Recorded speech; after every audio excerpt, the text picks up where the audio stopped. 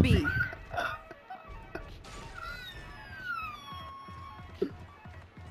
and you guys wanna know what just happened? Fell off the map? yeah.